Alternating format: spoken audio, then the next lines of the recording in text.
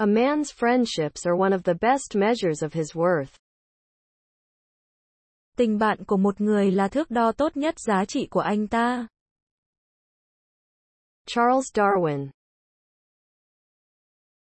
Friendship Tình bạn, tình hữu nghị. Measure Sự đo, sự đo lường, đơn vị đo lường. Worth Giá trị,